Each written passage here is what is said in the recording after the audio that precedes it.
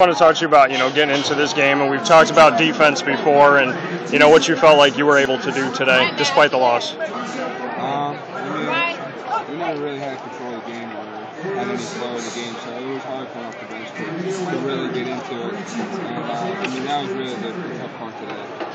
As far as guard play, you know, the guards struggle to score. Michael Carter Williams had some good points, but you know, when your guards struggle, obviously that's where t- the team seems to lose. And just go into that, and you know, offensively, what happened today? I mean, offensively, I mean, no one really had it going. I mean, Mike picked up the slack a lot, but I mean, offensively, we know what he could do, and he didn't really have everything today.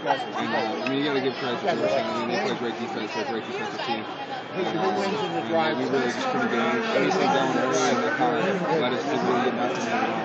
and we talked about defense before and playing against zones, and you saw some man from them, but you've seen zones lately. How prepared is this team moving forward in these, you know, games that are going to be low scoring, 50, 60 point games? I mean, we've gotten a lot better. I mean, we know that our defense is going to keep us in games, but I mean, to win games, you got to make shots, and uh, we haven't done that. So uh, once we do that, then we'll be able to beat teams and, and be when you're you know when you're in a place like this and you're away from home, you know you're going to be away from home for the rest of it, no matter what happens. How confident is this team moving forward going into the Big East tournament?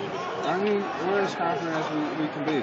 I mean, uh, I mean, when you struggle, it sets you back a little bit. But I mean, we got guys on, on this team who can really score and who can really get after it. So, I mean, we're not really worried about that. It's just because we, we've done it before and we come out and we scored a lot of goals, and uh, we know that we can do it. So, I mean, we just got to put together and we will. You take a loss and it stings going up against a team like Georgetown. Do these losses hurt more than anything else because of who they are? No doubt. I mean, I mean, we love to, to beat Georgetown twice in. To beat them on the home would be great. And, uh, I mean, uh, it, it definitely hurts a lot more coming here than Georgetown. Does seeding matter to you at all? You know, knowing now that you could end up staying in that sixth seed and not obviously not having a double bye now and not having a break in the first and second round.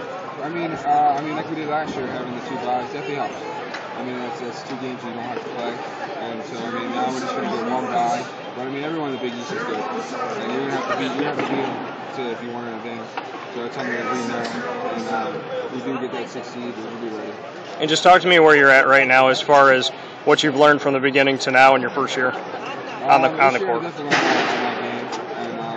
Uh, and uh, Boeheim's offense and defense. So I mean, I just gotta keep putting them together and uh, just keep going forward.